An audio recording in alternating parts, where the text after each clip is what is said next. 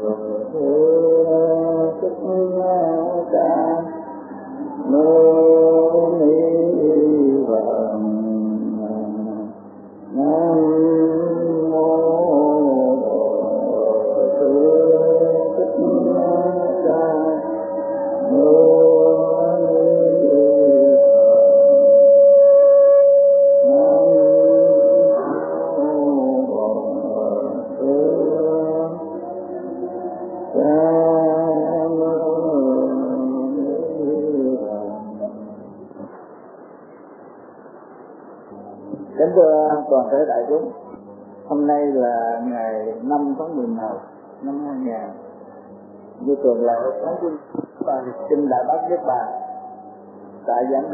chùa Vĩnh Nghiêm.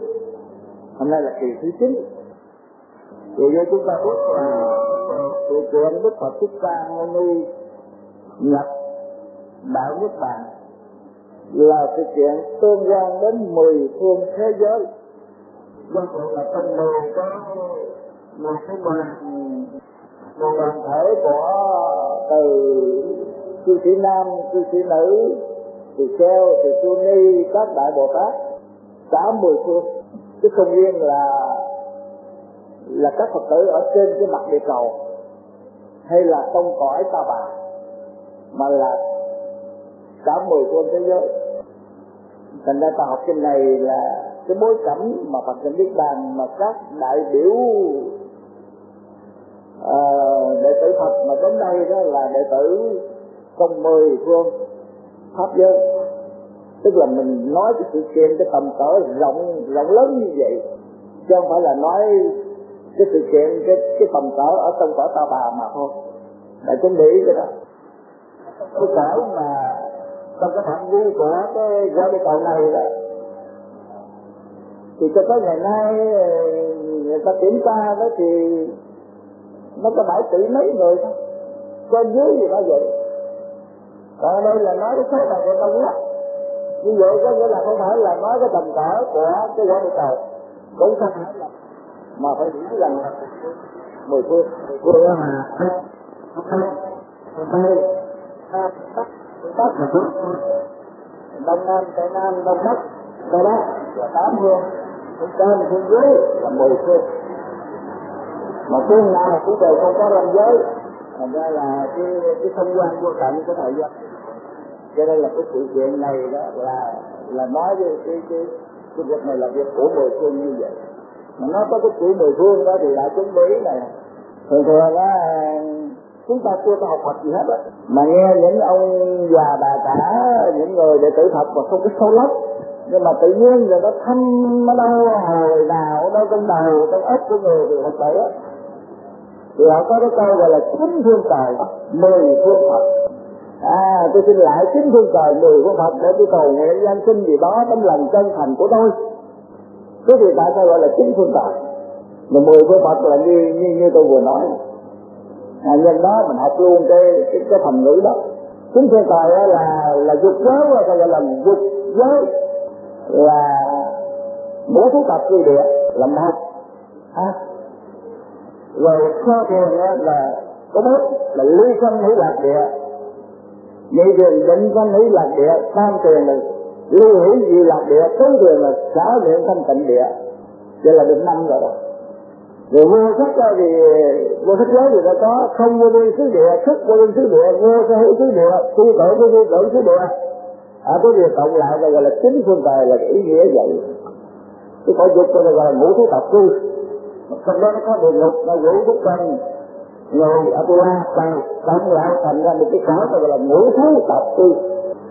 Thế được tính thân trời còn mười thân Phật đó là đông, tây, nam, bắc tư duy. Tức là đông nam, tây nam, đông bắc, tây bắc. Phương cơm và phương dưới. Mình nói cái chủ phương cơm và phương dưới nữa, cộng vô là mười phương đó này đó là cái mặt nát của đạo Phật mà nhà bắc Phật thân tên là là chỉ trên cái thuyết cùng nói luận đó thì ông nói rằng là cái giới của đạo Phật đó là thức cần tập dịch quá những cái thông tin trên thế giới ngày nay. Mà tất cả cái gì trên thế giới ngày nay gọi là khoa học nó ra là những cái đó là coi như cái Phật giáo có sẵn. Cho nên cái chữ mười phương thật nó khác nói là cái quả địa cầu của chúng ta nó ở giữa hư không. Nó nó nó nó trong cái vũ trụ này theo cái cái sức hút của giữa mặt trời mặt trăng à, và cái quả đất này nó thành ra một cái cái cái cái hành tinh hai nó tương tương quan với nhau mà nó tồn tại cho nên nó không có phát và vì vậy nó mới thành nên mười phương. Thế còn nói theo cái chữ mà hồi xưa nó gọi là trời thì còn đất là vuông nã trời thì giống như cái mắt bên lòng bàn úp xuống, còn ờ, mặt đất cái chứa tất cả. Thì mặt còn còn giống như cái mâm mà để các cái món đồ ăn, thì cái lòng bàn đẩy xuống vậy. Nói vậy là không đúng. Như vậy là Galileo là cái người mà mà thiên chúa giáo mà đã từng bác bỏ cái thuyết coi còn đất vuông của thiên chúa giáo cho nên là bị bị phạt nhiều cách đây đây, đây là, là được được giáo hội phạt nhiều cách còn còn đạo Phật thì nói là là mười phương có nghĩa là đã thấy rõ. Galileo cách đây có thế kỷ 17 ha mà còn đức Phật của của của của chúng ta đó mà. Thì trước thế kỷ thứ nhất mấy trăm năm vậy mà đã thấy rõ rằng là lòng thật có thể nói mười phương.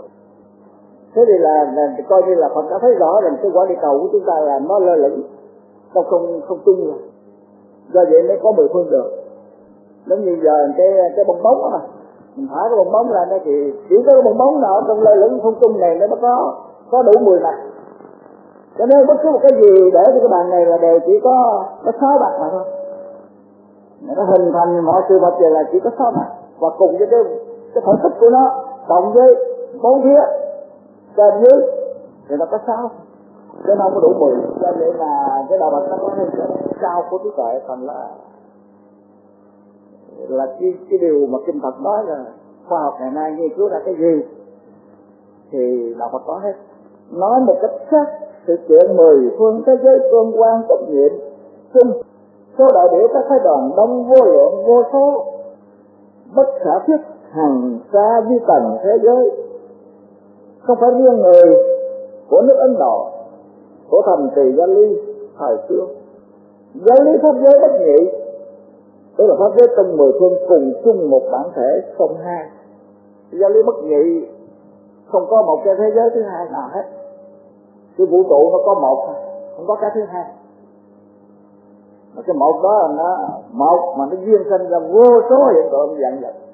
Thành ra một là một của cái nhiều thì hiện tượng dạng vật nó sinh khởi vô số hình dáng, sắc màu, kích thước, chất liệu khác nhau. Nhưng mà nhiều đó là nhiều của từ cái một cái này bữa mình có giới thiệu qua rồi.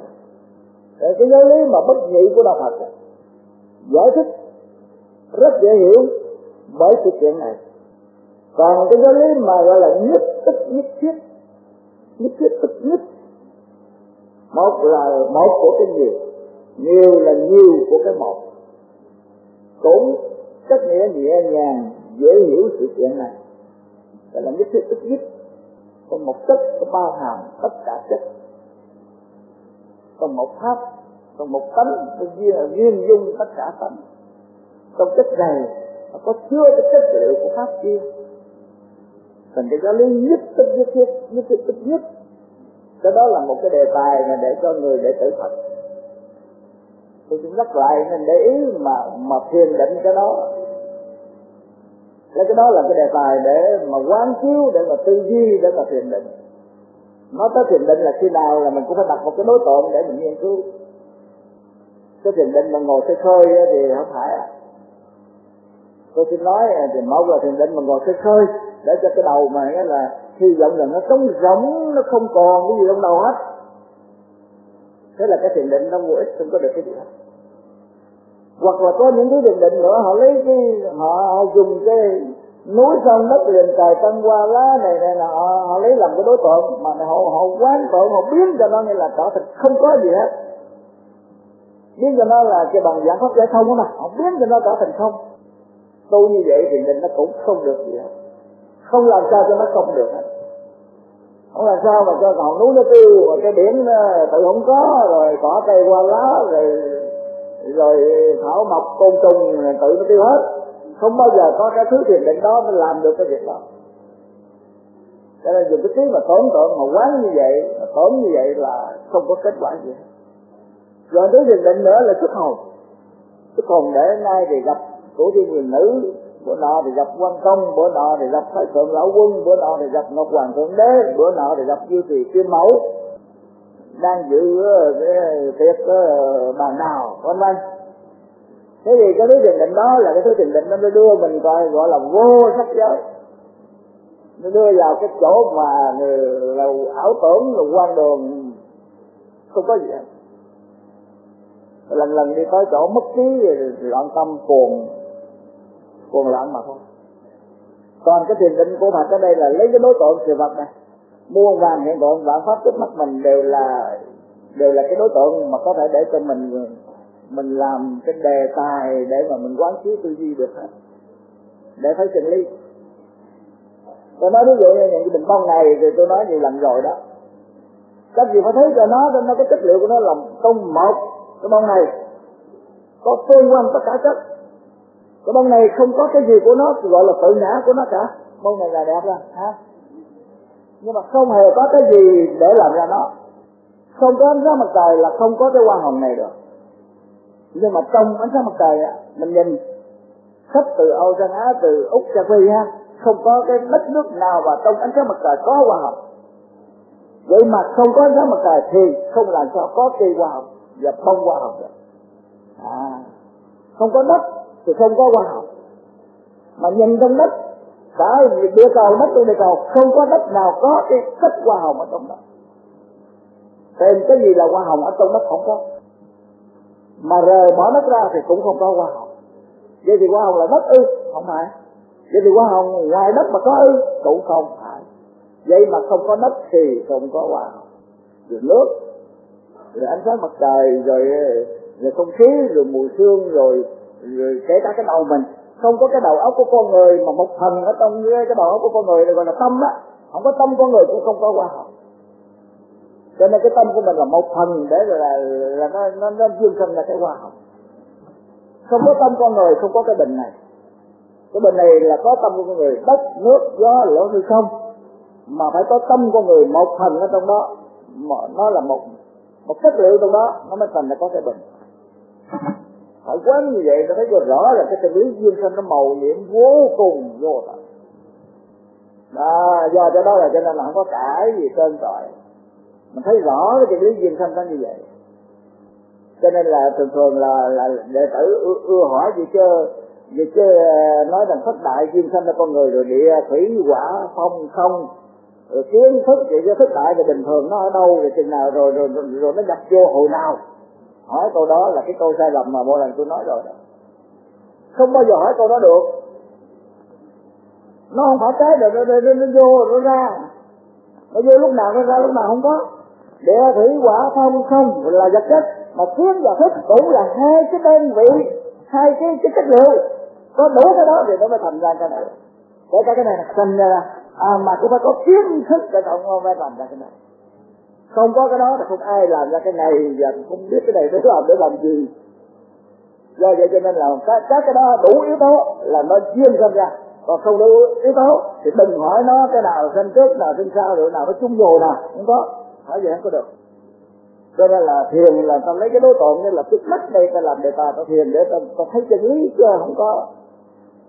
Không có tâm trời những cái lôi thôi như nãy giờ ba bốn thứ thiền mà tôi nói đó là điên cuồng hết á thiền để thấy chân lý để nhận thức chân lý để sống theo chân lý tôi gọi là tùy thuận theo chân lý. Xứng tánh khởi tu tùy thuận pháp tánh. Chứ chứ không phải là để đòi hỏi cái gì khác. À, cho nên cái đó để ý đó. Trên không học hoài học hoài.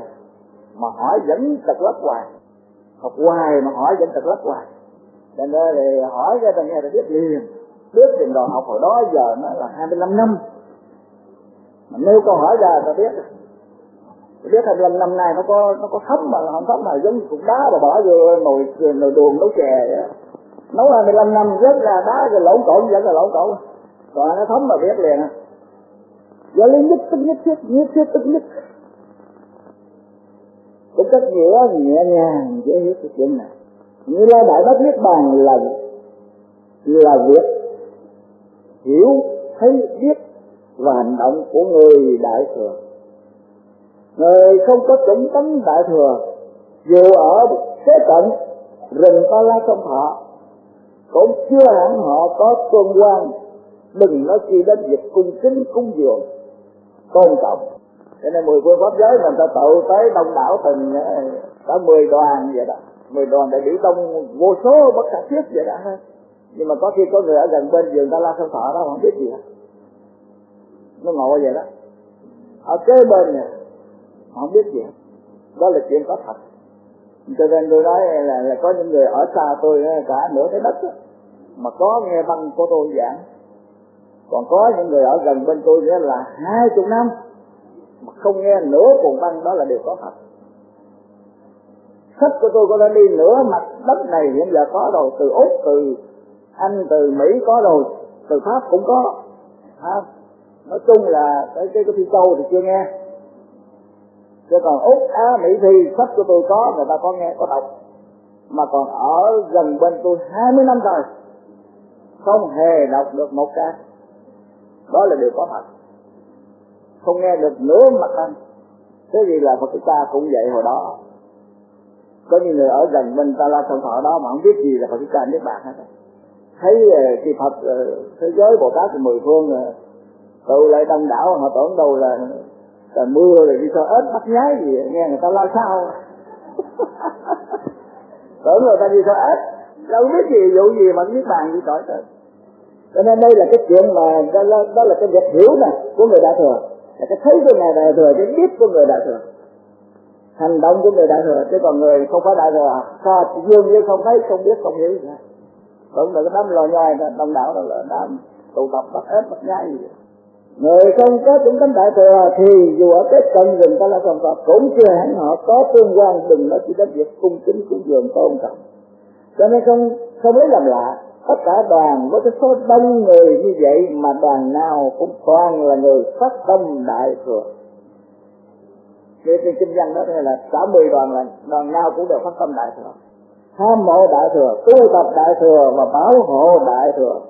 Rõ là thầy nào thì to vậy thầy sao về trò vậy? Mà cái ngạn ngữ của Trung Hoa nó gọi là ngưu tầm ngưu, mã tầm mã. Trâu nó đi tìm trâu để nó nhập bầy cái trâu không có vô cái cái đám ngựa để nhập bầy được. Ngựa đi tìm ngựa, nhập đoàn, cái ngựa không có vô đám trâu bò nhập đoàn được. Đó là cái cái ngạn ngữ của của Trung Hoa là vậy. Còn tế thì ở nước nào cũng vậy thôi, cũng giống như vậy. Thầy nào tòa nấy tố nào theo tố nấy chúng tánh nào gặp rõ theo chúng tánh ấy cái chúng tánh ngoại đạo mà nghe kinh đại bác cái bài này là không bao giờ họ nghe nổi.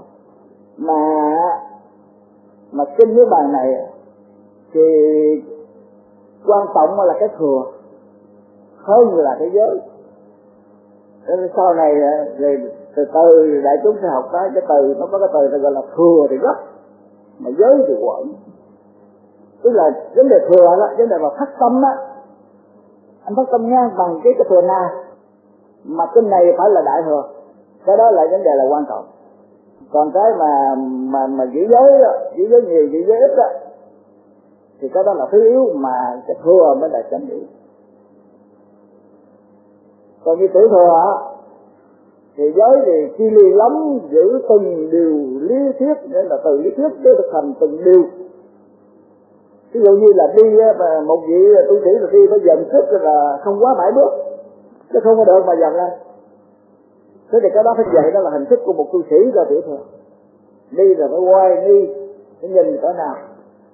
Còn ví dụ như gặp một cái cơn nguy hiểm nào đó, là một cái cây, mà leo lên cái cây đó để khỏi một con rắn là một con rít gì nó cắn, cũng không được leo. Là sao là không biết. Cứ để, nếu mà cần là nó cắn chết cũng được mà cái đó là phải cho là đạt mục đích yêu cầu là phải giữ giới không dám cãi lời Phật. À gọi là gọi là, là giới gấp mà thừa quẩn. Còn đại thừa thì thừa là gấp thừa là quan trọng. Mà giới thì là, là nó có thể là là, là, là co giãn có thể là linh động. Quẩn thì có nghĩa là linh động. Có nghĩa quyền biết. Cho nên tiểu thừa xưa mà có cái bạn đạo bọn đạo tặc mà nó, nó, nó, nó gặp mấy ông đệ tử Phật rồi đi đi thất Phật đó rồi nhầm cái lúc mà đói lạnh rồi cho mấy cái, mình manh áo mà không có đủ ấm. Cho nên các sa môn mà mặc cái y rồi coi lùm xùm lùm xùm nó coi bộ ấm quá đó. Thế thì nó nó đón nó lấy bình bát rồi nó lấy cả y áo. Rồi nó nó đòi giết giết chết bỏ để nó nó đoạt của. Rồi có các cái cái cái rèn cướp khác rồi đó ơi đừng có giết cái đám là tưởng ông cụ đàm là dễ lắm mình lấy dây cột rồi bỏ ngồi đó à. Ông kia ông nói sao được ở đây đâu có dây gì cắt đâu. Không cần. Lấy cỏ đó có lông có ấu có sông trần á. Cột à. Thế là kia nghe lời, lấy cỏ sông trần ở đây cột quấn giò cái rồi bỏ ngồi đó.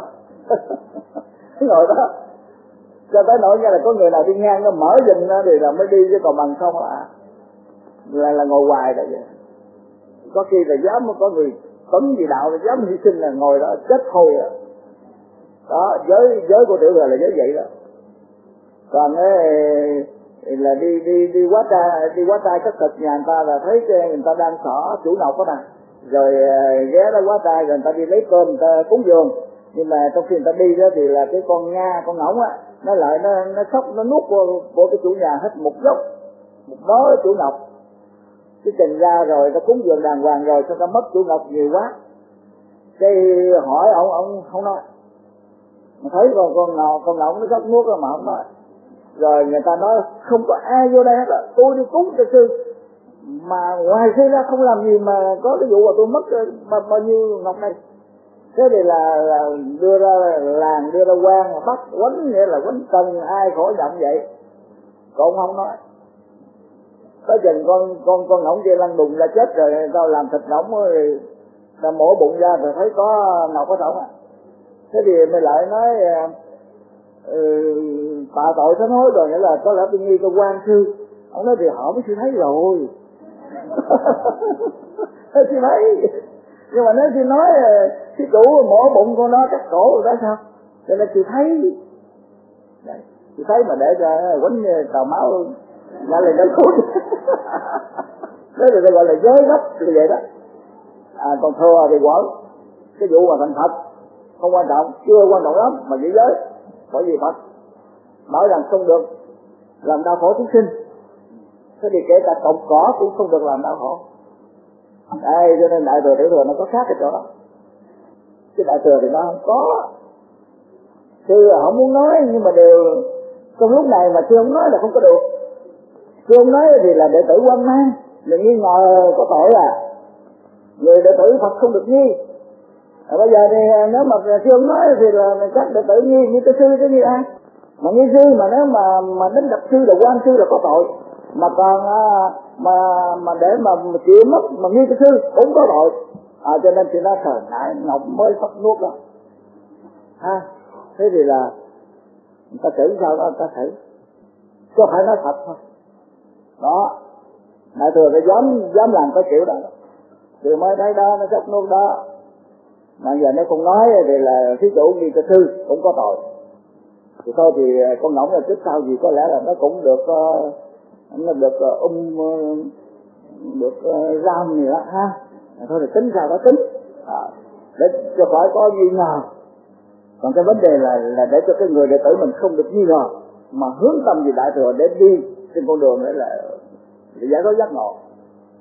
Thành đại thừa nó linh động là vậy. Tuy vậy người trí cũng không chủ quan, không lạc quan với số người đại thừa đông đảo ấy.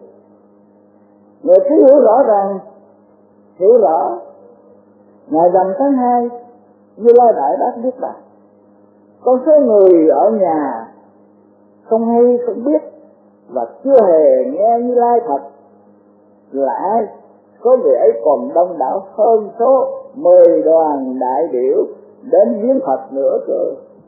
À cho nên nói đông như thế kỳ thật là là nên hiểu rằng là còn số nhà đông lắm. Chưa biết gì về về đạo Phật hết. Cho nên cũng không phải là đông vậy mà lạc quan đâu. Một cái thành phố, tôi nói ví dụ giờ thành phố của mình đây nè, thành phố mình đây là là năm triệu người. Mà thực chất là được bao nhiêu người đạo Phật. Có gọi là đạo Phật, có quy tâm bảo. Rất ít. Rồi có quy tâm bảo mà được học chánh pháp, thành chánh pháp sống theo chánh pháp nữa, là càng ít hơn nữa. Đây phải hiểu nó như vậy là cho nên con số mà gọi là đông đó mà thì nó không phải là đông đâu. Cái tầm cỡ thế giới mà, là tới là bao nhiêu đoàn đó thì không gọi là đông đâu do vậy mà giáo lý đạo Phật mà cái, cái, cái vấn đề mà tam năng tam bất năng có phân tích ra rất là hay. Năng tri quần sanh cái tánh cùng cái trước sinh tử di sự như bất năng quá đạo vô duyên. Năng công cái thiết số thành vạn pháp chi trí như bất năng tất diệt định nghiệp. Có cái người cái định nghiệp của ta ở kế bên chùa vậy mà cả đời ta không có không nghe chánh pháp không học chánh pháp gì hết. Mà ta sống bằng ngoại đạo hoàn toàn sống với tâm hồn ngoại đạo hoàn toàn. Không phải đạo Phật. Nếu mà cái cái chùa đó mà giảng về giáo lý đại thừa thì những người xung quanh kế bên vậy đó mà người ta vẫn bằng lòng ta không nghe. Người ta nghe không nổi. Thế thì bất năng thích dịch định nghiệp. Cái nghiệp của ai, cái chủng tánh của ai cỡ nào, thì người đó từ từ mà cải tạo mà xây dựng cái cầu Phật không làm gì được. Biết tầng tánh của chúng sinh lắm, biết nhiều lắm, mà cái người vô duyên thì Phật không có độ được năng độ vô số vô biên chúng sanh như bất năng độ tận chúng sanh giới độ chúng sanh nhiều Phật làm điều đó được. Người cái thế giới chúng sinh không làm sao cải tạo để nó thành ra một cái thế giới như là cực lạc hay là niết bàn hay là uh, cái đất thật cho tất cả mọi người được. Vì cái lẽ là kỳ kỳ tâm tịnh mới tất Phật độ tịnh. Nếu tâm của người đó mà không tịnh không học chánh pháp không hành chánh pháp không sống theo chánh pháp thì Phật không có cái cách mà dùng bùa dùng phép gì để làm cho cái đất nó nó nó thanh tịnh, cho nó nó giải thoát giác ngộ cho mọi người được hết. Tùng thị, kinh di đà nó tùng thị, tây phương quá thập dạng ức phật độ hữu thế giới danh nhất cực là kỳ độ hữu phật, hiểu a di đà kim hiện tại trước pháp đó là câu kinh, trong kinh a di đà. Phật thích ca dạy có lẽ thất. Từ đây từ đây tức là từ cõi ta bà, đi qua hướng tây trải mười muôn ức thế giới Phật có một thế giới tên cực lạc đức giáo chủ là Phật A Di Đà ban thuyết pháp hiện nay. Do là dạy đó người ta hiểu thế giới ta bà ở dạng hướng đông điều đó không sai. À, thế thì à, ai cũng hiểu rằng thế giới cực lạc của Phật A Di Đà là ở hướng tây. Mà hướng tây thì là là có ta bà ở hướng đông chứ gì? À như vậy là ta hiểu có ta bà là hướng đông không sai đúng chân lý vấn đề đông tây không có chuẩn nhất định. Tây phương ta bà, giáo chủ thích ca mâu ni phật, cũng không sai. À thế thì có ta bà này là coi với cánh cực lạc là đông. Vậy mà nếu người ta muốn nói tây phương ta bà giáo chủ cũng không sai. Là dựa vào cái thế giới mà ý ý lạc mỹ âm đến cái tây phương đến có ta bà thế giới ý lạc mỹ âm ở phương đông. Thì bữa trước mình nói thế giới ý lạc mỹ âm. Có bồ tát vô biên thân muốn đến. Có ta bà để mà để mà ra mắt, mà thăm viếng, mà học hỏi với đức phật thích ca. Thế thì thế giới ý lạc mỹ âm mà nó ở phương đông, mà tất nhiên là có ta bà nó trở thành phương tây rồi. Thế giới ý lạc mỹ âm ở phương đông. Bồ tát vô biên thân đến thế giới ta bà thành ra tây phương cũng không sai do đó cho nên ta đã tư duy ra một cái chân lý nữa. Cũng là khoa học ngày nay phát minh ra là trong cái vũ trụ này nè. Những cái hành tinh, những cái thiên thể, những cái thế giới có người ở hoặc thế giới chưa có người ở mà ta chưa tìm ra. Nó vô số. Không có cái nào gọi là đông là tây gì được hết trơn nó giống như là một nắm là một một một cái thứ bọt xà phòng mà mình thổi bong bóng nó bay ra, cái là loạn đã trong cái, một cái bầu không khí như là cả chục người đem thổi xà phòng. Trong cái bầu không khí ờ, cái lãnh đường này chẳng hạn. Thế thì là bao nhiêu ngàn cái bong bóng bọt xà phòng. Cứ lững lơ và sư còn mình lững lơ trên đó mà nó vô số như vậy thì đặt cái vấn đề bông phay không có cái nào đúng được hết cái nào cũng vẫn là tương quan trong cái sự mà hút hấp lực lẫn nhau. Cái nào cũng đều là lan tròn hết. Những cái cái bọt bong bóng, cái thập phần đó đều là luôn luôn là lan tròn. Đều là lan tròn hết. Theo cái hấp lực của nó. Hồi nhỏ tôi chơi đó, tôi lấy một hộp đậu ha. Tôi mua rồi tôi hỏi lên là nó lơ lửng lơ lửng thế này ban đầu thổi một hộp nha. Sau đó thổi lần hai hộp. Hai hộp nó lên nó cũng lơ lửng lơ lửng thế này. Sau đó thổi lần ba hộp cũng lơ lửng trên này mà hộp nào cũng đều phi toàn hết. Sau đó thổi bốn năm hộ cùng lơ cũng đều lơ lửng lơ lửng trên này. Thế thì là dựa vào cái cái thổi đầu đầu lấy đậu xanh là thổi lên đây coi chơi đó. Bây giờ mình học Phật rồi mình chứng minh rằng là tất cả đều là là do cái sức cái lực hấp dẫn của nó. Nó tồn tại trên giữa không trung là do có cái, cái hơi gió không khí rồi cộng với cái sức hấp hấp hấp hấp dẫn của nó ha. Mà nó lơ lửng là lửng. Trong lúc lơ lửng đó là đều luôn luôn là sẽ toàn hết chứ không có cái nào mà đứng yên. Do vậy cho nên vấn đề mà đông tây nam bắc đó ngày nay đó ha, mà gọi là thế giới cực lạc của phương tây, là thế giới vực sư lưu ly ở phương đông, thế giới ý lạc mỹ ở phương đông, vân vân. Nói là nói vậy thôi, ta gọi là phổ vị thế giới tất cả. Nói để cho người ta có cái khái niệm vậy thôi, chứ kỳ thật là không có thế giới nào là cố định đông cả. Cũng không có thế giới nào cố định ở phương tây cả vì hành tinh thiên thể, thế giới nghe là cùng cùng bất khả thiết hằng hà xa số, đều nương nơi cái sức hấp dẫn mà ở trong cái vũ trụ vô cùng, vô cực này. Thì làm gì có cái gọi là đông, cái gọi là tây, cố định gì đâu. À cho nên cái giáo lý đạo Phật mình học, mình thấy cái hay của nó lại đó. Hồi nhỏ tôi có thời gian tôi học kinh Di Đà, tôi hay tưởng tượng với đức Phật buổi chiều, mặt trời lặn đó rồi, rồi mà tư duy mình tưởng tượng cái phía đó là phía của Phật Di Đà đó mình cũng ờ, có xúc động mình cũng có chạnh niềm là nhẹ nhàng thư thái vậy đó. Nhưng mà đó là hồi nhỏ mình học vậy chứ học sinh đại thừa rồi không không còn vậy nữa. Cái phía mà gọi là mặt trời lặn mà là là, là không phải là hướng tây gì đó rồi. Việt Nam mình thì thấy mặt trời lặn thì ờ, hướng đó là hướng tây nhưng mà trong khi mặt trời lặn ở mình thì là nó là mặt trời mọc ở bên cái nước Mỹ thế thì bên ờ, nước Mỹ thì người ta mới thức dậy, người ta tính dân thì tôi nhìn cái phía mặt trời mọc đó lại là hướng đông so Việt Nam mình nó cách nửa cái mặt địa cầu mà, thành ra là mình nửa tây bên kia là hướng đông rất là tương đối, không có chân lý gì hết. Mà phải học trong pháp giới là nhất chân pháp giới là bất vậy, cái đó mới đúng. Và phải học là quả thật á, là nó không ở tây đông nào hết, mà tùy kỳ tâm tịnh tập phật độ độ tịnh bất cứ ở đâu mà tâm mình thanh tịnh là chỗ đó là có thật.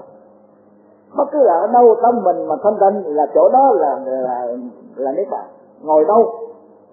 Tâm thanh tịnh tâm mà không có đau khổ không có ưu tư sầu bo là cái chỗ ngồi đó vùng đất đó là niết bàn. Học như vậy mới mới mới, mới xa rời cái cái ảo tưởng nó mê tính gì ra thâm nhập chân lý. Thế giới là lý âm mơ phương đông bồ tát vô biên thân đến thế giới ta bà, thành tây phương. Nói như thế không sai. Nhận thức về vũ trụ thế giới của đức phật. Thích ca hai mươi lăm thế kỷ trước. Hằng hà xa số, bất khả thiết bất khả thiết vô lượng a tăng kỳ thế giới cho đến ngày nay. Sau hai mươi lăm thế kỷ, khoa học, thiên văn tìm hiểu và xác định những điều mà Đức Phật đã xác định từ xưa cho nên ta có, ta rất bằng lòng, ta rất vui sướng, ta có một đấng giáo chủ sáng suốt tuyệt vời giáo lý của Đức Phật dạy không hề có lỗi thời. Dầu khoa học ngày nay không những cái thông tin những cái tin tức mới mẻ mà kỳ thật, đạo Phật đã có hết. Nếu mình học kỹ, thế thì là cái phẩm thượng hết rồi. Bây giờ mình tiếp tục qua cái phẩm thứ hai. Kinh bà đáp niết bàn phẩm thứ hai là phùng đà. Phùng đà là một cái tên của một người cư sĩ trong cái giai cấp thợ thiền. À, độc đáo là chỗ đó. Ấn độ thì giai cấp lốc giai cấp bà la môn là giai cấp ưu đãi nhất giai cấp sách đế lị là cái ưu đãi số hai rồi giai cấp thể xá giai cấp thủ đà la. Thể xá là buôn bán bình dân họ thiền nè à, thủ đà la là cái giai cấp là gần như là ờ, giai cấp thấp nhất á. Thì ờ, thuộc đà này là cái cái giai cấp này là thuộc về thọ thiền chứ không phải là trong cái giai cấp hạng số một là bà la môn hay là sắc địa lị. Phẩm đà lúc bây giờ trong hải hội có vị ưu bà tát tên là quần đà là một cư sĩ có tư tập hạnh lành muốn trồng sâu gốc rễ đại thừa mong có hoạch quả giải thoát giác ngộ. Như mọi người, ông sắm sửa lễ vật, dân cúng dường Phật và tăng chúc ông ta thiết cầu xin Đức Phật phương pháp mà nhận phẩm vật, ông dân cúng. Con đa bạch thật rằng ví như một nông dân nghèo, có cửa ruộng tốt, có trâu khỏe cày bừa sạch cỏ. Giống tất đã sẵn. Chỉ còn chờ một trận mưa. Bạch thế tôn nông dân nghèo đó chính là con. Con cầu xin với con, một trận mưa, một trận mưa phát cái câu này, nói câu này mình hồi tưởng lại lực cổ Huệ anh cũng có một cái, một giai đoạn nói nói cái câu tương tự như ý này nhưng mà đây là nói là giống như người nông dân à, đất đã làm rồi tài bừa rồi giống tóc có rồi là đầy đủ mọi thứ rồi. Chỉ cần cảnh mưa phát nữa là là gieo giống rồi là có thể thu hoạch được này. Thiếu người thiếu một trận mưa thôi. Còn lũ khổ huệ năng á, hồi cái lúc mà còn làm cái người giá gạo đó nè. Mỗi ngày cứ giá gạo bữa nọ tổ ngủ tổ hoàng lãnh tới. Tới thăm hỏi vài câu thì à, lục tổ huệ năng nói gạo của con giả đã tánh rồi. Nhưng mà bây giờ thiếu cái người mà giúp cho những cái những cái rừng, những cái rừng để mà dừng gạo. Tổ huệ năng không nói gì hết. Rồi gõ, cầm cái gậy gõ trong cái cần, cái cối chạy đạp đó mà. Ba cái tóc tóc tóc. Để vì là ngũ tổ đi về liêu của mình như bình thường thì đúng canh ba đó thì lục tổ huệ năng mới tìm đến đánh lễ ngũ tổ. Thì rõ trong cái tầng tối mà lục tổ huệ năng đã hiểu ý. Cho nên kia đó đi, đi làm cái lễ để ra mắt thầy và thầy dạy cái gì. Thế thì là lục tổ huệ năng nói rằng là gạo đã giải phóng rồi giống như đây đất rồi làm hết rồi giống má rồi. Phân phối là đổ hết rồi mà chỉ còn thiếu trận mưa nữa là là có thể thành tựu được. Một cái thành quả lớn lao của người nông ở đây cái người giá gạo chỉ cần phải có cái dần nữa này thì dần ra cái cớm rồi thì là, là, là, thành gạo thành thành phẩm rồi là thành cơm ăn được. Nhưng mà nó phải có cái dần nữa mới được thế thì là ngũ tổ là giúp cho cái dần bằng cái cách là gõ ba ba tiếng ở trong cái cần giả gạo cái chày kia đó thì canh ba thì tới ra mắt rồi thì ngũ tổ mới dạy rằng là ông nên đi về phương nam để mà hành đạo. Bây giờ đây ta tiền cho ông cái y, cái đó ông hãy giữ cái vật này mà làm tin để mà là hành đạo, để mà độ giáo hóa chúng sinh. Ừ, nhưng mà sau này thì có cái đời của ông đây rồi thôi. Từ đây về sau đừng có truyền y pháp nữa. Ta truyền cho ngươi đây là là cái người cuối cùng. Vì cái tính pháp đại thừa sau này nó có cái khả năng tự nó phát triển được rồi. Người ta đã nghe được rồi, người ta hiểu được rồi, người ta tin được rồi không cần lấy cái y bát để làm cái vật làm tinh nữa. Vì nếu mà sau này mà dùng cái y bát này mà để mà truyền mà làm cái vật mà làm tinh á, thì nhiều người cạnh tranh với nhau, nó sinh ra ưu tư phiền muộn đau khổ, thậm chí là ta giết nhau vì cái y bát này. Vì để để để mà ta củng cố cái vai trò, cái địa vị lãnh đạo làm tổ của người ta, mà nó sinh ra cái hậu quả đau đớn, chết chóc tội lỗi và đây là ta tiền cho ông thế là lục tổ quỳnh anh đi ngay trong đêm. Vậy mà có ông Huệ Minh còn đi theo còn đi theo và để mà với cái ý đồ là đó cái y và bác đó. Để đem về làm làm tổ. Ở trong đó cái chủ chủ chủ mưu là trong, trong sách nói đó là của cái xe của vị sư thần tú. Thế thì là chuyện xưa nó cũng có mang mát như vậy cái việc mà cạnh tranh đó mà. Đời nay nó cũng có như vậy. Rồi cái chuyện xưa cũng là là là là, là đủ đủ điều kiện để để để, để gieo giống như giống lúa rồi mà thiếu tận mưa. Thì cái thời kỳ Phật trong cái Bàn này ngày xưa nói rằng là là đủ điều kiện mà thiếu mưa. Rồi sau này thì lục tổ huệ năng nói rằng là gạo giả tấn rồi mà thiếu người giúp cho cái cái dân. Thế thì cái đoạn này nó giống nhau như lai thế tôn chấp nhận phẩm vật cúng dường của tuần đà. Tuần đà vui mừng hớn hở, đức phật dạy cho tuần đà cách cúng dường khí thực. Phước quả ngang nhau. Một là cúng cho người thọ thực xong, liền chứng quả vô thượng, chánh đẳng, chánh giác. Hai là cúng cho người thọ thực xong, liền nhập niết bàn. Cái kinh đại thánh niết bàn này là lý luận dữ lắm nếu mà phật tử mà, phật tử đại gia mà đọc cái này có khi đọc rồi các vị nắm không có nổi đâu. Không có thì giờ nghiên cứu đọc để mà nắm. Cho nên là tôi viết như thế này nè, là cực dữ lắm á. Bởi vì tôi rút những cái mà cốt lõi tính yếu rồi tôi lượt bớt. Tôi gọi là đề cương rồi vậy đó. Cái này cũng gọi là đã có cái bàn thâm nghĩa đề cương, tức là mình nắm cái áo, mình thích cái bao xếp được cái bâu là coi như mình xếp được cái áo. Cái lưới mà mình nắm được cái giềng là mình có thể xếp được cái tay lưới. Còn nếu mà phật tử tại gia mà đọc cái này thì nó y như là một đống lưới vùng ngùng vậy mà không nắm được cái giềng áo thì là cái áo nhiều tà mà không nắm được cái bâu là không là sao sử dụng được cái áo đâu.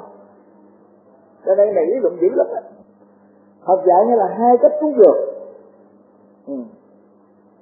Phật dạy cho từng đà cách cúng dường thí thực phước quả ngang nhau. Cúng dường thế nào mà phước quả ngang nhau. Mọi người cúng dường cho người thọ thực xong liền chứng quả vô thượng trên đẳng chân giác.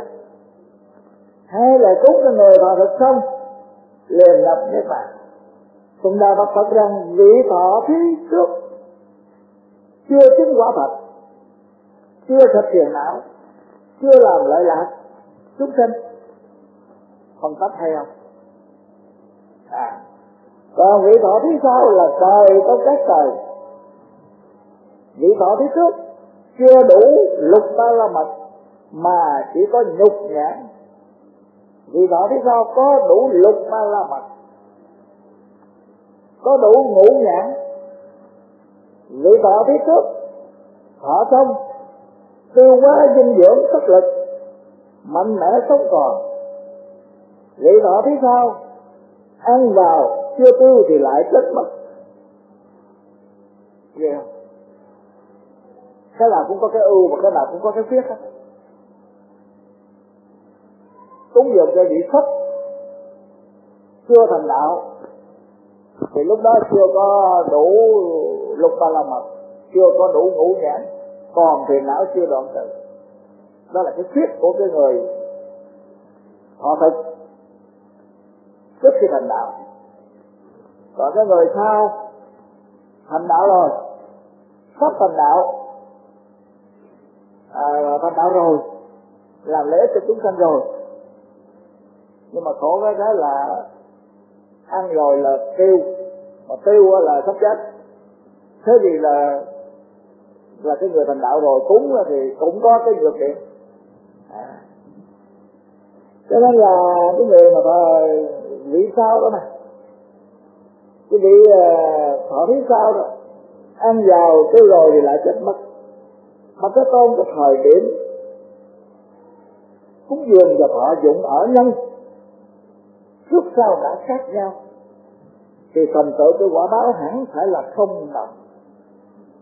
Vậy tại sao như lai cái tôn dạy hai trường hợp cúng dường thì thí thực ấy được phước báo đồng nha, hai ra nó khó lắm nếu hỏi mình mình nói không được đâu không học kinh niết bàn này mình nói không được đâu cái thọ gì mà thọ thí mà chưa thành đạo mình cúng thì ăn thì dinh dưỡng sắc thân sức khỏe có đó.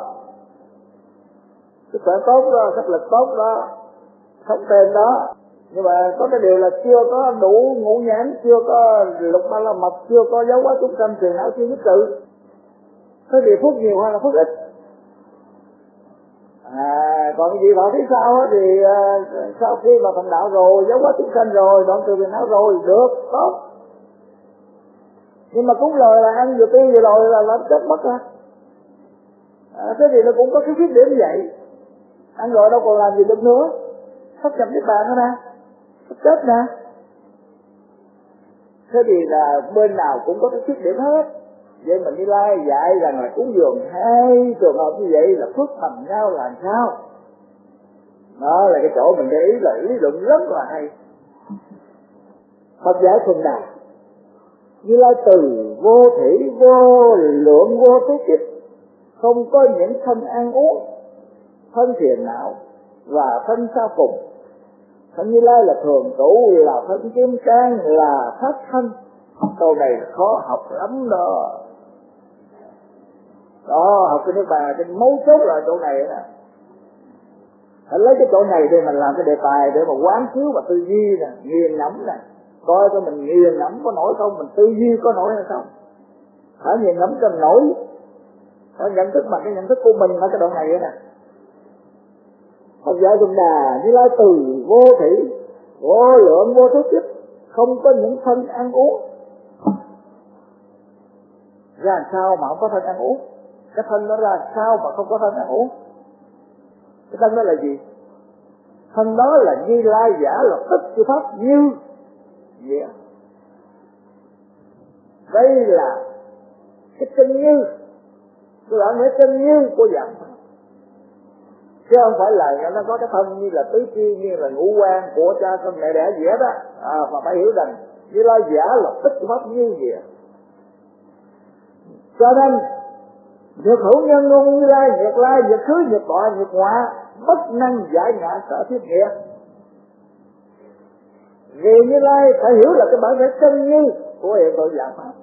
Còn nếu như người nào mà nói như lai mà nó có có cái thân tốt rằng là có đi có đứng có nằm có ngồi có nói có nín có động có tỉnh có ăn có uống vân vân đó là người đó không hiểu được cái nghĩa như lai mà gọi là như lai đại bác niết cái bàn này đâu câu này là khó nhất đó. Cho nên như lai đây là như lai tàn là cái kho tàng chân lý là cái bản thể chân như của hiện tượng vậy. Như lai này nói theo như thức là tức là cái đệ bát a lại. Và trước tất cả hiện tượng sự vật duyên sinh cho tất cả hiện tượng sự vật. Và tất cả hiện tượng tượng sự vật đều duyên sinh trong cái a lại. Gia cái cái cái cái, cái đệ bát thức là năng tàn sở tàn đó cái đó đó là pháp thân như lai là chỉ cho cái đó. Do vậy cho nên là phải hiểu rằng cái tính của hiện tượng là pháp từ vô tình cho tới hữu tình đều là thanh tịnh bản bản nhiên vì vậy cho nên là cái tánh thanh tịnh của con người gọi đó là phật tánh mà cái tánh thanh tịnh của dạng pháp gọi đó là pháp. Tánh mà kỳ thật thật đó, thật tánh và pháp tánh không hai mà chỉ có một. Thứ thôi cái tánh thanh tịnh giống y nhau có một sư cái đó có à nha cái này là học bên đây à. Mà tham thiền mới là học quá đây là nghề của chàng. Nghề của chàng lâu lâu ô vậy là à, cái lửa này nó đây là để tay đơn giản nè. Nè à, không biết đâu. Đưa vô họng nữa. Hồi nhỏ tôi đốt cái đèn cây tôi nhậm họng chơi đó ngậm không chơi mà làm cho tao nó tắt chơi á. Dắt tôi đi học rồi nào cũng tổ nghề anh hùng ra hết á. Ờ. Giống như là, là, là ngày pháp kia pháp nọ rồi cái này đốt cái đèn cày cái loại đèn cày nít và đốt ờ, đèn trung thu á. Đốt là cái đưa ngon năm chín rồi thì thật sự là cái cái dưỡng khí trong nó đâu có bao nhiêu. Cho nên nó cháy cái chiếu rồi tắt ngục á. Ờ, là tại vì nó không có bao nhiêu dưỡng khí trong hết thì nó tắt liền cho nó coi dữ tợn vậy mà kỳ thật không có nóng không có nóng gì hết. Thế vì đây, còn một thứ nữa này, mà nếu mà đem đốt rơm là chỉ có để nước bánh thồng chứ có làm gì còn nếu mà ai mà ăn theo kiểu ba tận kiểu mà bất đắc dĩ ra thì cá lóc nướng chui. Rồi đốt lại, nó vậy rồi nấm đen, nấm đỏ vậy rồi cạo cái da bỏ bởi vì giữa đồng, giữa ruộng, tôi đang ăn cá nướng chui vậy chứ, ở nhà ai làm gì đó. Vì nó không có nóng nhiều thì lửa ngọn nhà đốt khí lên còn thường thường để nước bánh phòng thôi nhưng mà cũng thứ lửa này, mà đem đốt vô ha mà mồi vô trong than than đá ha là đốt, nấu mấy ngàn độ nóng à cái gì lửa mà nấu gan nấu chắc chở cũng là lửa này. Mà lửa này chỉ để nướng bánh phòng thôi, cũng là một thứ lửa này thế thì cái tấm thanh tịnh bản nhiên của sự vật hiện tượng là giống như một thứ lửa. Này tùy theo nó tác động vào ở trong con người thì gọi cái đó là phật. Thánh mà nó tác động, nó thanh tịnh ở bên vạn pháp tôi gọi đó là pháp. Thánh cái sự thật là một thánh thanh tịnh. Để cái chỗ đó rồi cho nên tôi gọi là phật tánh. Pháp tánh không hai là vậy. Lửa ba ngàn độ, cùng với lửa ba chục độ năm chục độ là một thứ lửa thôi. Thì sẽ cái chỗ, cái công dụng của nó. Cho nên cái câu này là cái câu mà phải để ý nhiều. Nghĩa là từ vô lượng, vô số kiếp không có những cái thân ăn uống, cái tâm phiền não và thân sao phục thân như lai là thường trụ, là thân kim cang, là pháp thân như lai là thể chân như bất sanh bất diệt. Vô thủy vô vô chung. Vậy thì cái đó là cái gì? Là như lai giả là tất bất như vậy. Đó là cái cái chân như bản thể của hiện tượng giả, hiện tượng giả pháp từ cái chân như bản thể đó mà duyên sanh ra. Nói ngược lại là từ bản thể chân như đó mà duyên sanh ra hiện tượng vạn. Vậy vậy cho nên hiện tượng giả pháp không ngoài nó là nhiều vô số, nhưng mà nhiều là nhiều của cái chân như bản thể là một. Còn một cái từ này cái bản thể chân như là một, cái viên sanh ra hiện tượng dạng pháp vô vàng do vậy mà giáo lý của đạo Phật gọi là một, là tất cả tất cả là một. Vì vậy cho nên là cái tính thanh tịnh của con người cũng là thanh tịnh. Mà cái tính thanh tịnh của hiện tượng phạm pháp, nó cũng là cái tính thanh tịnh là một thứ dân nhà nhưng mà tánh thanh tịnh của cái loài hữu tình thì gọi đó là Phật tánh. Tánh thanh tịnh của vạn vật thì gọi đó là pháp tánh. Hiểu được hai cái nghĩa đó thì gọi là tăng tánh tăng tánh. Cái có, có nghĩa là tổng hợp được cái tánh hòa hợp giữa tánh thật và tánh pháp. Gọi là tăng tánh cho nên chữ tăng có nghĩa là hòa hợp nghĩa là hiểu được hai cái đó công lại. Cái đó là cái đề tài đó. Đề tài nghiên cứu tư duy. Tư duy vậy để làm gì? Để thấy rằng là cái con người này của mình đó nè, mà khi nào mà mình sinh ra phiền não đau khổ, đó là do mình sống sai chân lý. Cái cái chân lý mà cái bản thể tình yêu của con người á, không hề có có khổ đau gì. Mà sống sai chân lý nó thành ra khổ đau. Nếu tùy thuận chân lý mà sống thì nó sẽ không có khổ đau. Vạn pháp cũng vậy mình sống sai chân lý nó sao nó khổ đau thành kết thúc gì luôn mà tùy từng chân lý sống rồi thì nó không khổ đau tôi nói ví dụ như ở thành phố mình đó nè. Nhà nó liên ra liên liên gấp nhau vậy nè. Thì cái đất là đất thôi. Vậy mà mà có thể tranh nhau nghĩa là một lần gấp thôi. Một lần gấp để để để mà xây cái gấp thôi mà có thể là từ chuyện bụng tới nói là quá thù tận ở kế bên nhau mà không cần, không nhìn, không gặp mặt nhau. Mà có những khi là đang phải giải chưa cần tới nạp đơn chưa cần, đưa tới pháp luật, mà tự ấu đả nhau, có thể kết thúc cả tấm đại chỉ gì cái đề dài, cái là thêm một cục gạch đề dài, xuống hai chục thước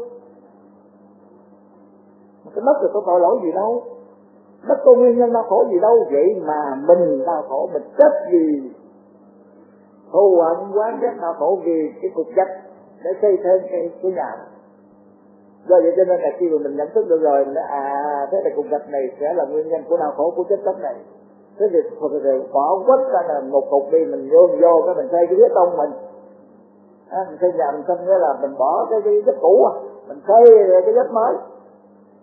Thế thì bên kia người ta có làm gì? Ta làm thì nữa là cái ghế cũ mình bỏ rồi. À thế là từ cái chỗ cũng như mất nó mà mình hy sinh một cuộc gạch bên ngoài, cái đất cũ bỏ cũng thật đó làm cái đất công tức là cái nhà mình phải hẹp hơn. Bên cùng gạch để nó nhẹ cái đầu ra. Còn ban công là chuyện bụng là cái đầu, nó muốn đi ra vậy. Dạ. ở hai bên ở không nổi. Thù hận danh ghét nha Sau khi đó hỏi lại đạo Phật thì cái gì là nguyên nhân của đau khổ này? À là nguyên nhân đó là cái dành một lần vậy và cái nguyên nhân nữa là là dành gì thay vì là hẹp bên tất cái điều là cái nhà mình bốn nước giờ nó còn ba thứ tám ở cũng được vậy mà mình không chịu. Mình cho rằng cái ngã sở hữu của mình đây nó bị hẹp bớt bên hết tất. À, thì đau khổ thế thì cái đau khổ nó có chính đáng có chân lý gì không? Không có chân lý gì hết. Tại vì cái ngã thì cái ngã sở hữu mình nó nặng quá nó thành là một cái thứ nguyên nhân đau khổ. Mà cái người tu hành người ta có thể giải tỏa cái nguyên nhân đau khổ đó được không có gì khó hết tôi nói ví dụ như cái chỗ tôi ở trên đó, hồi đó là hai cái nhà ở bên nhau nghĩa là họ nói với tôi đó là người này mà nhìn qua người kia là đau khổ, người kia mà nhìn qua cái hướng đất đó thôi là đau khổ đau khổ không còn cách chịu được, cho là thấy là là là huyết áp lên rồi à. vậy mà tới trình bán là tôi mới nói tôi làm sao với ông giờ bán tôi rồi cái rồi nó còn cách con dũng rồi là cỡ sáu bảy tấc vậy nào đó có đường đường nước ở đó. Đường nước đó là cái ranh rẽ là phía đất tôi đó. À, đường nước đó. Tới chừng bán tôi rồi cái là tôi làm cái hàng rào ở bên mé bên tôi còn đường nước đó tôi đổ đất lấp lại tôi cho luôn bên kia. Trời ơi người ta nghe mỗi ngày ta cởi máy cài ta đi sát bên nhà người ta là nhờ tôi cho thêm được gần cả thớt nè. Tôi chạy ra ruộng được tao quăng lên tôi còn hơn thằng thánh. tôi mới nói là cái bà già gần chết à. Mà bà nói con có phước lắm mà con mới mới được gặp thầy á. Thầy nó ở bên đó tụi con ráng mà để ý là tụi con có phước mấy đời đó. Mà bà, bà bệnh rồi bà không ra được nhìn cái mắt mà biết rằng là tôi là cái người tới đó tụi con sẽ có phước. Dặn dò tụi con. Thì có gì đâu lạ hay là, là một phước tôi cho luôn. Mà cái phước đất nó không nhiều nhưng mà nếu mà cho cái phước đất đó thì từ ở trước cái đường người ta có máy cài người ta làm đúng không người ta chạy đi làm đã rồi người ta về người ta đem thuốc lại xài người ta được. Mà đây mà nếu mà mình giữ gìn có tám tấn thước thôi, mà bứt cái đường ta không có đem cất máy được.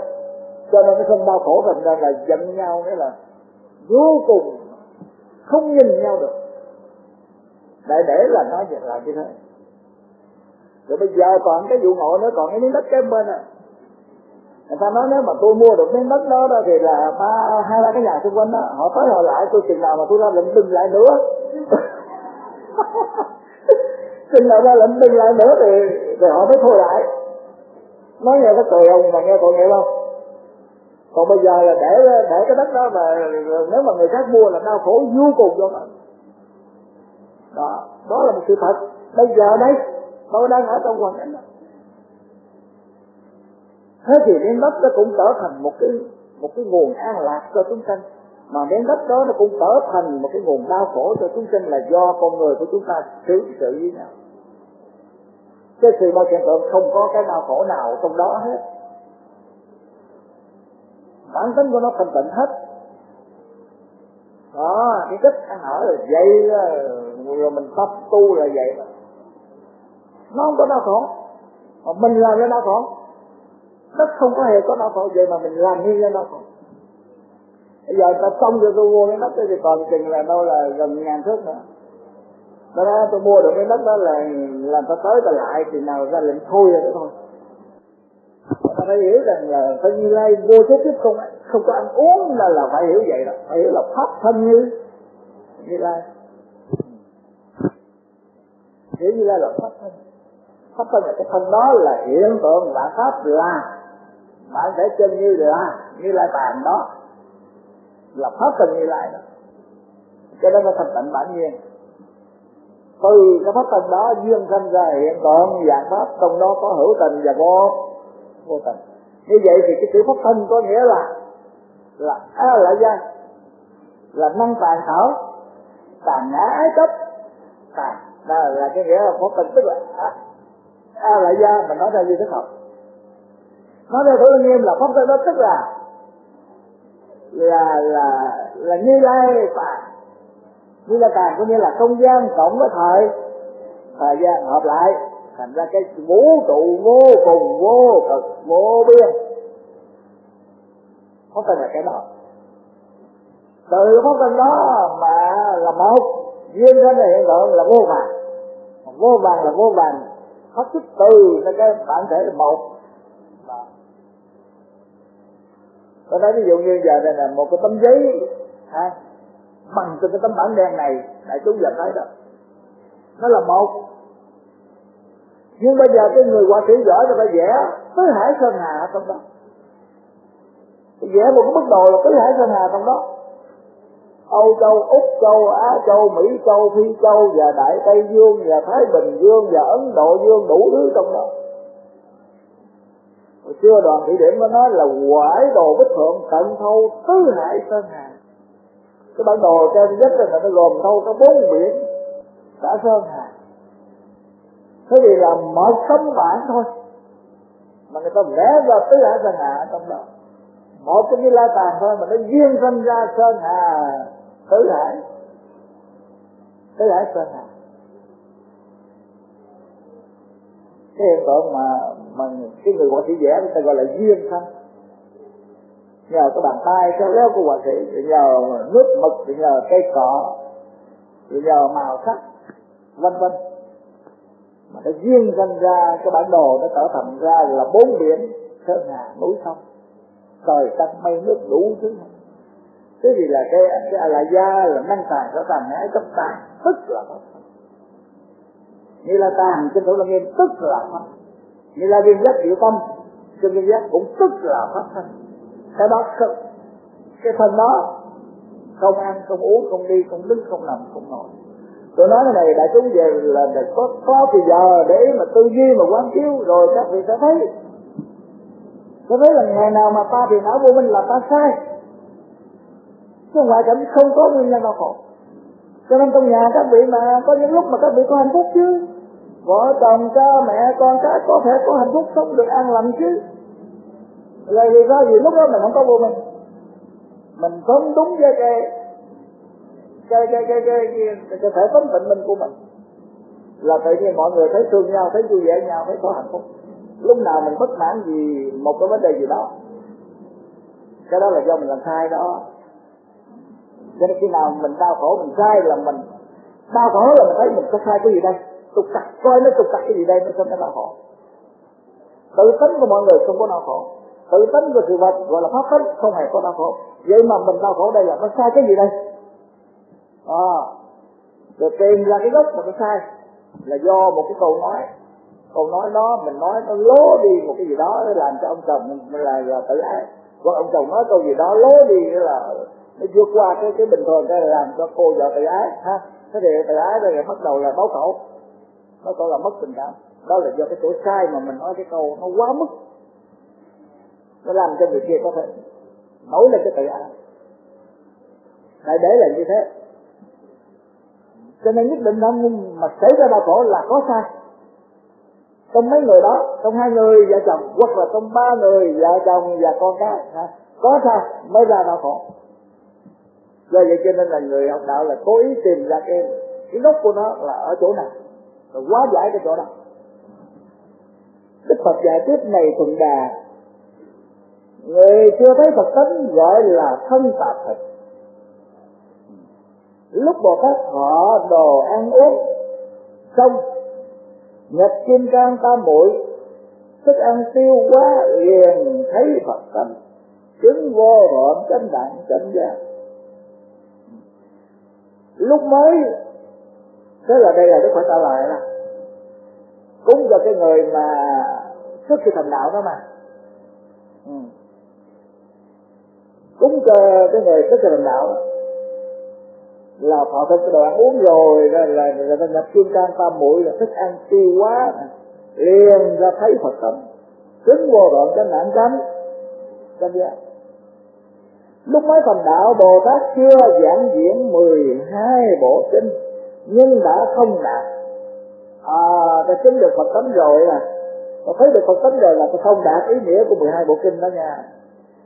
Nay nhập tiếp Bàn.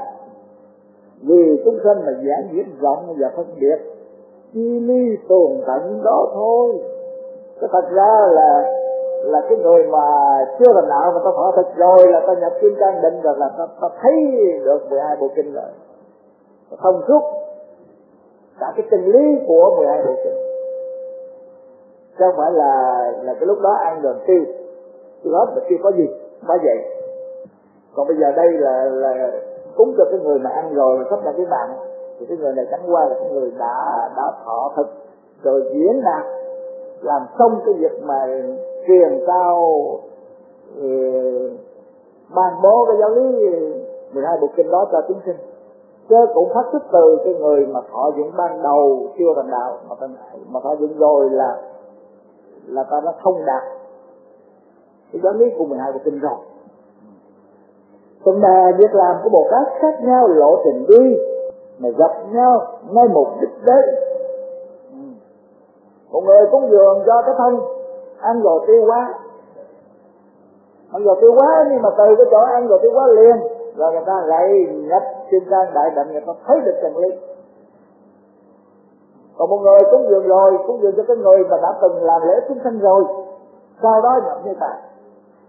Một cái nhập niết bàn là so với giáo lý đạo Phật đó thì không có nghĩa là chết mất. Đừng tưởng rằng Phật nhập niết bàn là chết mất. Hiểu rằng Phật nhập niết bàn là chết mất thì giống như là mình cúng dường cho cái người ăn rồi là tự chết mất là không được lễ gì đó. Hiểu như vậy là không được hiểu không hiểu được đạo Phật đâu. Giả lại nữa, vấn đề cúng dường đạo Phật không phải dựa vào cái ăn để tồn sinh mới có phước. Cũng không phải là, hoặc là ăn rồi chết liền mà mất đi phước đức không phải vậy. Hiểu như vậy nghĩa là không hiểu được Phật. Mà cúng dường Phật là phải cúng dường pháp thân Phật. Mà pháp thân Phật thì bất sanh, bất diệt, bất cứ, bất lai, bất xuất bất nhập, bất đoạn, bất thường hiểu vậy mới là cúng dường Phật à, gặp nhau một mục đích đánh khác nhau ở hình thức mà đồng nhau ở nội dung. Vì vậy như la dạy hai trường hợp cúng dường thế thực ấy được hưởng cái quả báo đồng nhau. Phần đa không như lai từ vô lượng vô số vô biên tiếp không có thọ sự ăn uống. Vì như lai giả là tích phật chỉ pháp như nghĩa đừng bao giờ quên cái ý đó. Là cái bản chất chân như của hiện tượng dạng thôi. Chứ đừng có hiểu chữ pháp thân có nghĩa là có một cái thân y như con người, mà không ăn, không uống, không nằm không ngồi. Không đúng. Mà đây là chỉ cái bản thể chân như. Từ bản thể chân như một một bản thể chân như mà duyên sinh ra hiện tượng bản thân. Thế thì cái đó gọi là pháp thân. Vì chữ thân có nghĩa là tích tụ một bản thể tự nhiên mà duyên sinh ra hiện tượng dạng pháp vậy thì hiện tượng dạng pháp là là nó tích tụ ở trong một cái bản thể chân như. Do vậy cho nên là hiện tượng dạng pháp không ngoài chân như bản thể. Bản thể không rời hiện tượng dạng pháp. Và cũng do vậy cho nên là cái thân này ta gọi là ảo quá không thân, tức pháp. Pháp thân. Cái thân ảo quá này là quyển hương này nè, nhưng mà không phải là ngoài pháp thân mà có đâu nè cũng như sống mồi bong bóng bọt, không ngoài cái thể nước biển phẳng lặng như gương mà có đâu từ cái thể nước biển phẳng lặng như gương, mà có điều kiện nó duyên sinh ra sống mồi bong bóng bọt, đó. Vì vậy là ảo quá không thân, tức không thân. Thân này là hiện tượng duyên thân của cái chân như bản thể kia. Vì vậy cho nên không được sinh rẻ cái thân này. Thân này là phải tạo cái điều kiện cho nó sống an lành, cho nó hạnh phúc, cho nó kinh an, cho nó tự tại, cho nó có bồ đề nếp niết bàn là không được cho về cái thân này. Mong rời bỏ thân này để làm cái gì khác là không đúng. Cũng như là chê sống mồi bong bóng bọt không phải là là là nước biển. Vì khi tìm nước biển ở xứ nào đó, không có đâu phải tìm nước biển trong sống mồi bong bóng bọt của biển. Nó từ vô lượng vô số vô biên kiếp, không có sự ăn uống vì hàng tấn văn mà nói rằng trước đó như lai thọ cháo sữa của hai cô gái. Chân bào tên là sư già ta sư già tê vậy đó.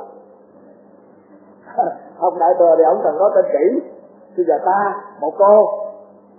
Còn nếu mà cô nội quên là nói là sư già tê, không sao đó, miễn có hai cô được rồi. Bởi vì vì sao mà dám nói như vậy? Vì bất bất cứ cái tên gì? Cũng đều là biến cái chấp mà thôi cho sự thật cái cô đó không bao giờ có cái thu già ta, cũng như không có cái thu già tê vậy rồi à cho nên học đại thừa nó suốt là nước cái đó. Vì hàng công dân mà nói rằng có thọ bắt sữa là thọ cháu sữa của hai cô gái trong mật tên là Nang Đà và Nang Đà Ba La. Rồi sau đó chứng quả vô thượng tinh đẳng chánh giác. Nhưng chứng phật như lai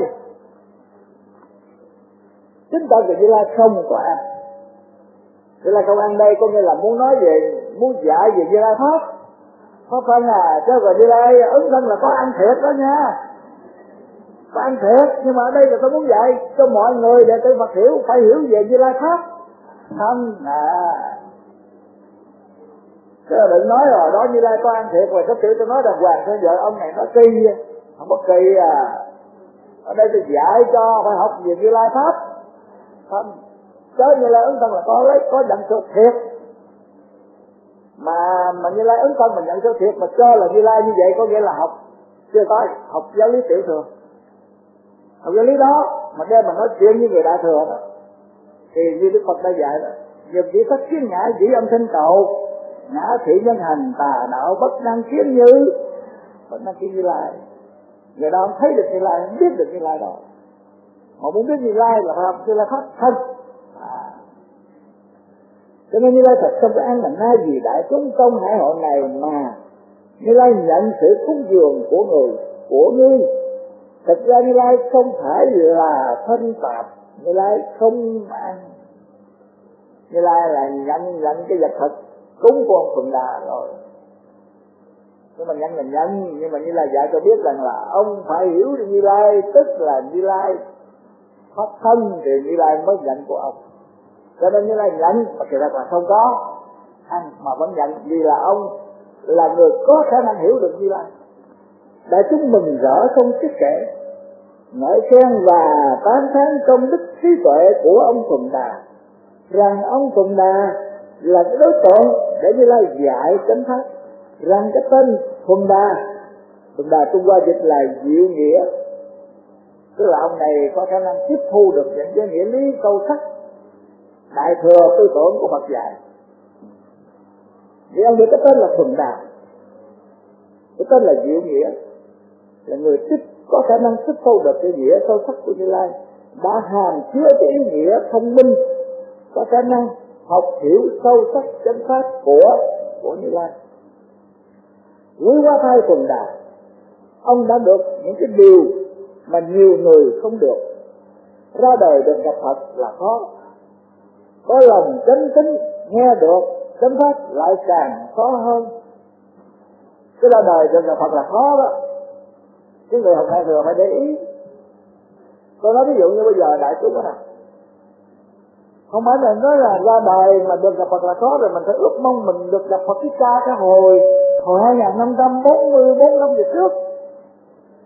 Mà ra đời được gặp Phật là khó là tức là ra đời mà có khả năng giác ngộ, nghe chánh pháp, học chánh pháp hành hiểu chánh pháp, rồi hành chánh pháp, rồi sống ra chánh. Cái pháp đó là các vị ra đời được gặp Phật đó. Chứ không phải là mà phải đòi kéo, cái thời gian lại, nên là mấy ngàn năm trước làm sao mình gặp được rồi vô lượng là đời sau này nữa là không gặp cái ông như một cái ca vậy. Gọi là không gặp Phật sao? Không phải đâu. Đại thừa người ta học vậy đó. Ở trong thành phố này mà năm triệu người mà những cái người mà mà được quy tâm bảo mà được là, là học hành nghe được thì tính pháp đại thừa đó là những người ra đời được gặp. À chẳng phải là phải, phải kéo về mấy mấy nhận được trước còn có người ra đời không được gặp Phật nó kỳ lạ là cái chỗ như tôi nói.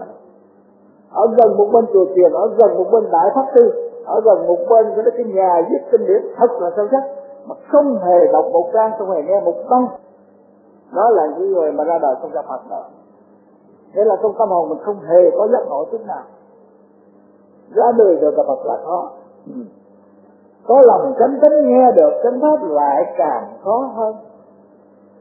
Chánh tính cái còn cái đức tin đó tin là phải tính tự tính tha tính nhân tính quả tính sự tính lý. Gọi là chánh tính cái còn tin mà đụng đâu cũng lại, đụng đâu cũng cúng, đụng đâu cũng vay đụng đâu cũng khuất phục. Gặp cái gì cũng gọi là ông nó trọi tên cách đây là 40 năm mà tôi đi giảng cái tờ ôn mà, cái gốc cây là cái dòng cái cây rồi rồi cái tung ở trên rừng đó, nó bự hai ba người ôm vậy nè mà nó trôi ở đâu, ở trên nguồn, ở trên campuchia, vậy tôi xuống rồi nó tấp lên cái cồn đó, rồi cái gốc cây bự là tất nhiên là phải có cái lỗ bọng. Cái lỗ bọng này nước nó vô trong đó rồi nó phẳng lặng, nó trong veo à. Thế là người ta gọi là cái ông gốc. Cái ông gốc rồi người ta nói là ông gốc này, cái nước trong ông gốc này là uống trị bá bệnh.